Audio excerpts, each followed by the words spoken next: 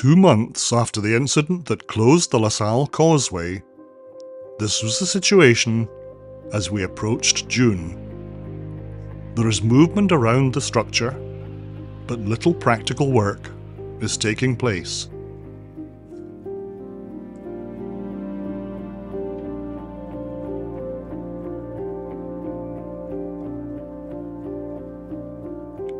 The bridge operators continue their duties, but there is little for them to do but maintain the grounds.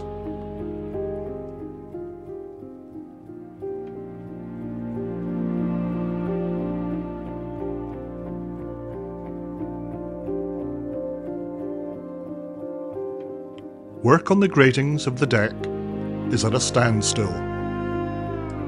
But pay attention to that covered walkway on the south side. We'll see it again. There's little movement on the west end, but pieces of the bridge that were undergoing refurbishment remain on the ground. And what may be accommodation or office trailers are at the far end.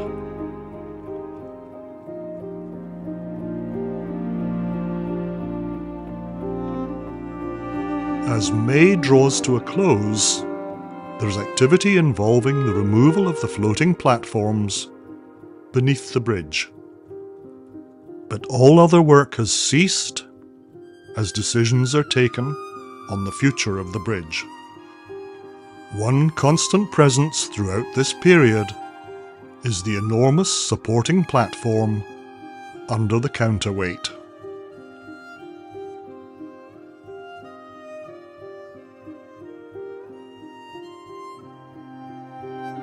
This pass over the deck shows just how close we were to completing the new grating.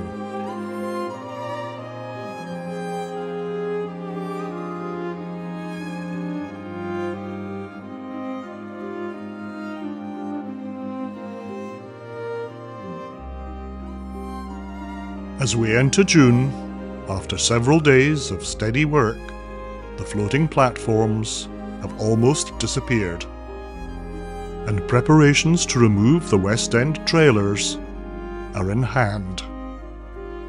Whilst a bridge operator trims the grass margins, workers from Landform Civil are clearing up and departing.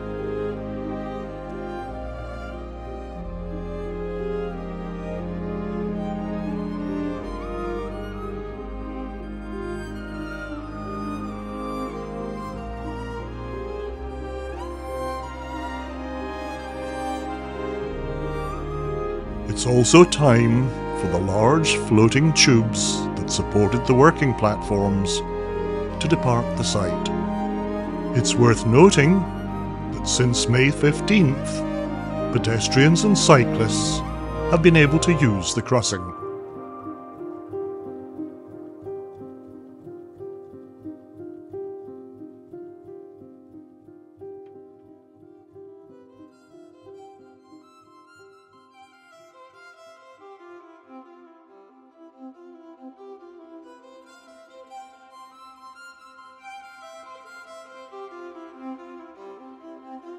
Further evidence of a change in approach can be seen when the barrier below the bridge is removed.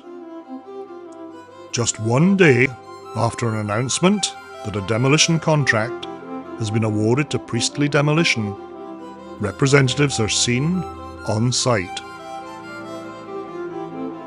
Within days, while some equipment remains from the old bridge work, equipments begin to arrive.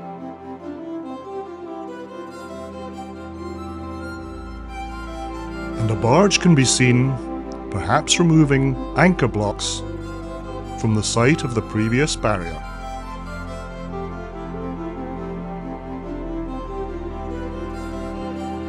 On the bridge proper, there is immediately no evidence of work, providing an opportunity for a little longer to enjoy the historic site with which we're all so familiar.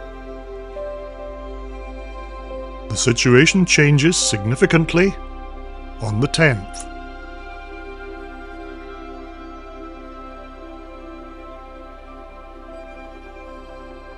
The arrival of a large mobile crane on the west end signals progress.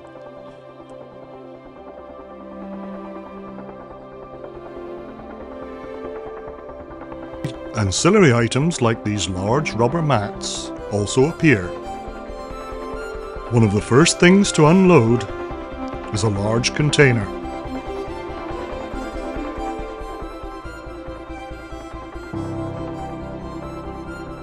A large quantity of protective fencing follows it to the ground. Over the lunch period, the crane moves to a position on the east end. We will see it employed before long.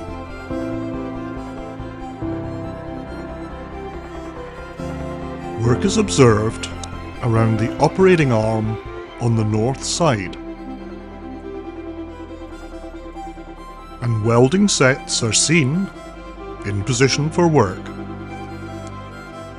and observed at work very shortly thereafter. Meanwhile, on the east end, a smaller mobile crane unloads substantial crane mats.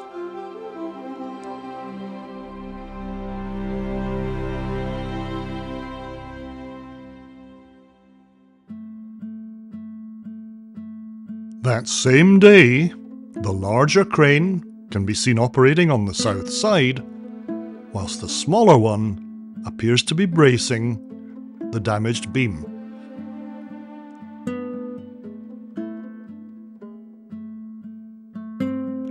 It can be seen that efforts are focused on removing the temporary walkway on the south side.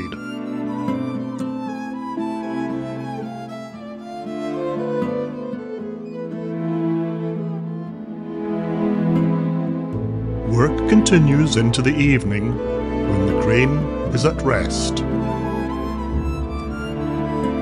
Lighting sets are in place and on, but the only work appears to be around the machinery room on mid-level, which is being cleared.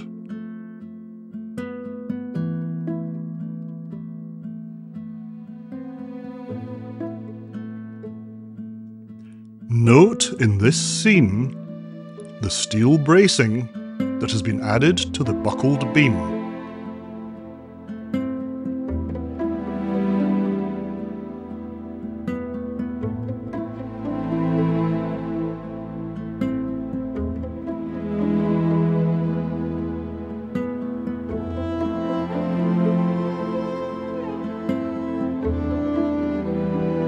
This panning shot across the bridge shows little activity midweek.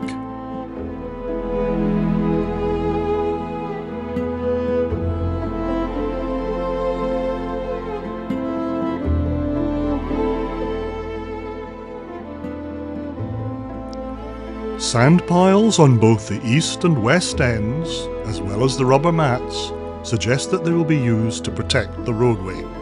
Note too that enormous shearing claw awaiting employment. On the east end, reinforcement of the buckled beam appears to be enjoying continued attention.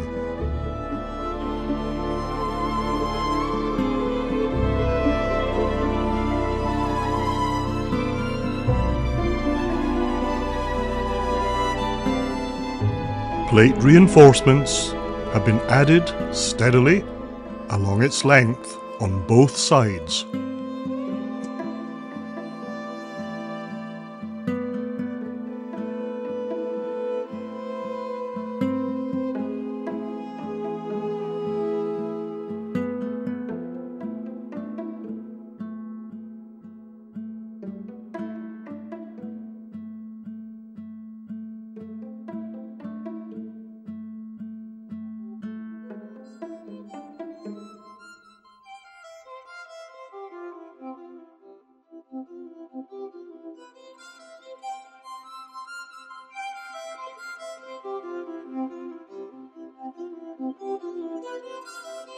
there's a dramatic change of pace when a large Caterpillar excavator from PDI arrives.